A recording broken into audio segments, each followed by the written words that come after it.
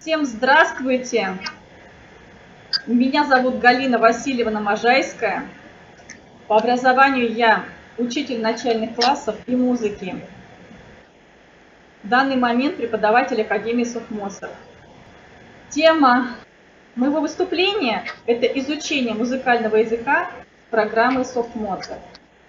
Я не буду углубляться в то, а, как полезно заниматься музыкой и игрой на фортепиано. Расскажу, как и с помощью чего можно изучать музыкальный язык и сделать любого человека музыкально грамотным. Тем более, что сейчас позволяет это сделать технологии. На уроках математики дети изучают цифры и оперируют ими. На уроках русского языка дети изучают буквы и также оперируют ими. А в музыке есть ноты. Но умеет ли большинство читать нотный текст? К сожалению, нет. А в любой школе есть э, такой предмет, как музыка. Но на самом деле это урок о музыке, где, как правило, слушают музыкальные произведения, очень пассивно слушают, поют, хлопают в ладоши, гремят шумовые инструменты и даже рисуют на уроках музыки. Это никакого отношения не имеет к изучению музыкального языка, музыкальной грамоты. Музыку нужно рассматривать и изучать прежде всего как язык, а потом уже как искусство. Есть уникальный инструмент, который э, сможет сделать уроки музыки живыми, интересными и научить детей читать нотный текст.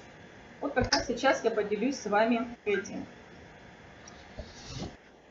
Система Software to Mozart – это комплекс обучающих музыкальных программ для компьютера и подсоединенного к нему электронного инструмента – синтезатора или пианино.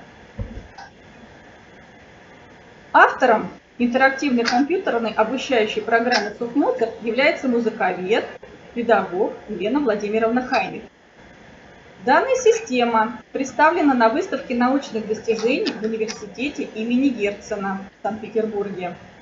Признана в Московской консерватории имени Римского-Корсакова. Одобрена Министерством культуры Российской Федерации. В частности, рекомендуют э, использовать эту программу в российских дошкольных учреждениях, музыкальных классах, государственных школ для детей с ограниченными возможностями, то есть для инклюзивного образования. Автор метода перевернула нотный стан ключами вверх, чтобы показать взаимосвязь клавиш с линейками и пространствами нотного стана. Зрительно видно, что каждая линейка и каждое пространство переходят в белые клавиши. Вертикальный нотный стан стал научным открытием, научным фактом, научным достижением. Начинающий видит карту перед собой и понимает, что играет левая рука, а что играет правая рука. И какие клавиши нужно нажимать на линейках или между линейками. В Моцарт за каждой нотой закреплен символ, как в азбуке. До – домик, ре – репка, ми – мишка, фа – факел, соль, солонка, ля, лягушка, си, сито. Образы пиктограммы отображены на азбучных нотах нотного стана и на закладках за клавиши, как вы видите на фотографии, либо есть наклейки на клавиши. Это позволяет начинающему мгновенно найти нужную клавишу, соответствующую ноте. Через мультимедиа программы SoftMaster мы можем увидеть рождение звука, его развитие и завершение – Каждая длительность в программе представлена в виде бутона распускающегося цветка. Анимированные персонажи сигнализируют о том, что нужно отпустить клавишу или подержать еще, или допущена ошибка. Получается, что ученику не нужно высчитывать длительность нот. Она заложена в алгоритме программы. Длительность каждой ноты стала видимой и зрительно контролируемой. Уникальная анимированная подсказка понятна всем начинающим, и они быстро учатся. Удобное программное обеспечение помогает не только читать музыку, но и следить за ошибками. В процессе исполнения произведения ученик видит свои недочеты на экране и самостоятельно их исправляет. Зрение человека по природе своей точечно линейно, но все языки мира линейны.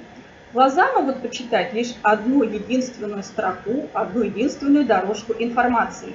На нотном стане в традиционной подаче таких дорожек 22. Глаза человека физиологически не готовы читать несколько строк сразу. Но нашлось решение, когда перевернули нотный стан ключами вверх. Появилась одна единственная дорожка информации, одна строка, на которой сосредоточена вся информация о том, какие ноты нужно играть и как долго их нужно держать на клавишах. Наука начинается там, где начинаются измерения, как сказал Менделеев. Данная система измеряет зрительно-моторную задержку ученика при чтении нотного текста в точных цифрах и помогает любому, любому педагогу увидеть, как у начинающего развиваются навыки с нуля. Ученик также видит свой результат, но и может повысить его результативность. Вот посмотрите, на экране показаны цифры в программе.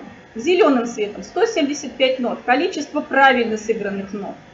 Всего 180 нот в пьесе, это показано красным шрифтом. 44 синим шрифтом показано время, потраченное на совершение действия, то есть поиск ноты, клавиш и нажатие ее. Вот э, замер зрительно-моторной задержки нет аналогов в мире. Цифра в программе является мощным мотиватором к самосовершенствованию, то есть есть стремление сыграть без ошибок. Ни в одной школе мира, наверное, не изучается музыкальный алфавит. Мы же придаем ему особое внимание. Не буду останавливаться на этом. Далее. А, разный формат нотного текста от простого к сложному, от конкретного к абстрактному помогает тренировать зрение. То есть мы также, как от азбуки, вот мы начали изучать азбуку, входим к чтению больших текстов. Точно так же и в музыке. Мы от азбучных презентаций переходим к чтению традиционных нот. Очень мягко и постепенно интерактивные игры-тренажеры. В программе Soft Mozart 7 модулей, каждый из которых имеет свое особое назначение. Это не просто игры, а тренажеры для тренировки многих важных навыков. Ну, координации глаз и рук, мелкой моторики, умение фокусироваться на движущемся объекте и так далее. Самое важное и самое главное – это то, что ученик сам может общаться с музыкальным текстом один на один. Ну, когда человек хорошо учится, когда делает все сам. То есть никто за человека, только сам он здесь оперирует нотами и клавишами. Да. Итак, программа э, создана для всеобщего пользования. То есть могут заниматься и малыши, и инвалиды, дети с ОВЗ, и взрослые, и профессионалы. Можно и групповые занятия организовывать, и даже обучаться дистанционно. Здесь я вам покажу класс, этот класс находится в гимназии в городе Астана. Посмотрите, как оборудован.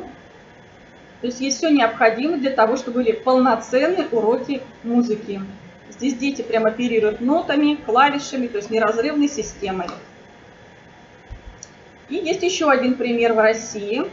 А, класс музыки в общеобразовательной школе, город Раменская. Вот так тоже оборудован класс. Здесь у нас идет немножко зарубежья, покажем из своего личного опыта. А, я являлась организатором класса по методике Владимира Ивановича Жохова в городе Бийске. И также была а, воспитателем начальной школы а, в этом, в этом классе.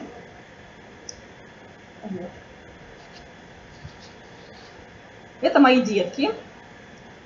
Из 16 человек 10 человек обучались по программе Soft Mozart в индивидуальном порядке. Что нам это дало? Дети научились читать нотный текст. Это раз. Второе. Они могли участвовать в международном концерте Академии Mozart, то есть показали себя на международном уровне. Вот они здесь стоят с сертификатами, но правда здесь не все. Мы устраивали тематические концерты и на Новый год, и летом, готовили поздравления 8 марта, а также праздникам 9 мая, а, делали музыкальное сопровождение к спектаклям, а, к музыкальным сказкам. И также поздравляли своих учителей во время урока. Выносили инструмент и делали музыкальные подарки. у нас были музыкально-литературные гостиные.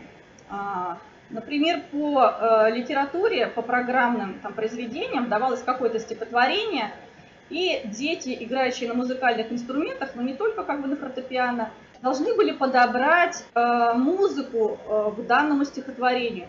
То есть, чтобы она была приближена по характеру, по интонации. То есть, очень интересный вид работы. Детям всем понравилось. То есть, вот такое сочетание музыки и литературы было бесподобно. Вы можете использовать программу SoftMozart на уроках музыки в своих школах или дома.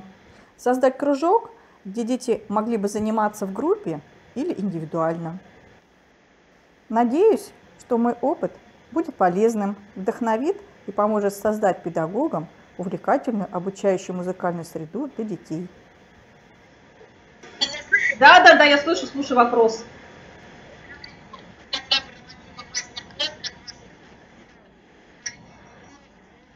Да. Да, да. И сейчас он...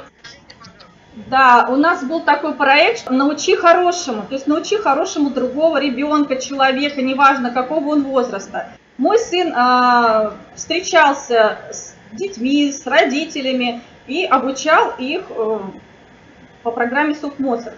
То есть э, люди прям выходили в чтение нот, особенно вот ну, наша бабушка, она у нас, конечно, здесь рядышком, ей повезло, то есть она вышла в чтение нот. Это можно посмотреть все в Ютубе. Э, сейчас Аким также продолжает у меня заниматься с детьми. У него набрано 5 учеников, он все это делает совершенно бесплатно, потому что это у него педпрактика.